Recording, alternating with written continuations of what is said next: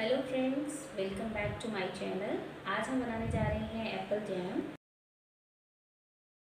Ingredients में हैं three apples एक कटोरी चीनी.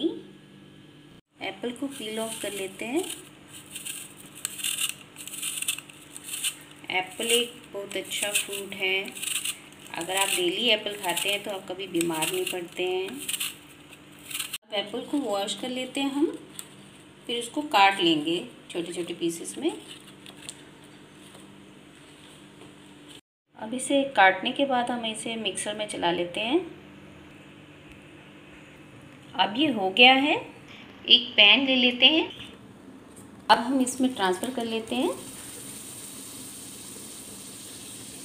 स्टर करते रहेंगे इसे। इसे लो फ्लेम पर ही रखें। एप्पल जैम बनाना बहुत इजी है, बहुत सिंपल है। इसे हमें चाहिए कि हम घर में ही एप्पल जैम, जो इजी चीज़ें हैं, उन्हें घर में ही बनाएँ, बच्चों को बना कर दें। एक तो ये खाने में भी डिलीशियस है। और बच्चों को पसंद भी आएगा खाना। अब हम इसमें मिक्स कर लेते हैं शुगर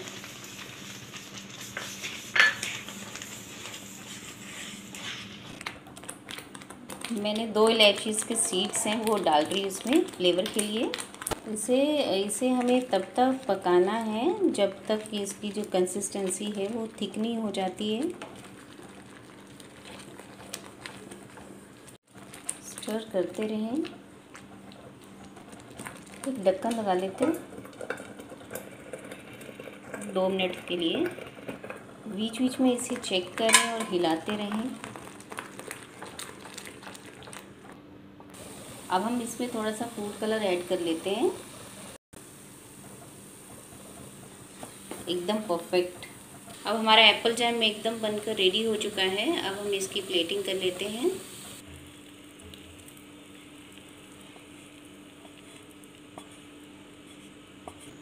इसकी कंसिस्टेंसी एकदम परफेक्ट है। अब आप इस जैम को ट्राई कर सकते हैं ब्रेड के साथ। इसको ठंडा होने देंगे। एप्पल जैम अब हमारा ठंडा हो चुका है, अब इसे फिल कर लेते हैं।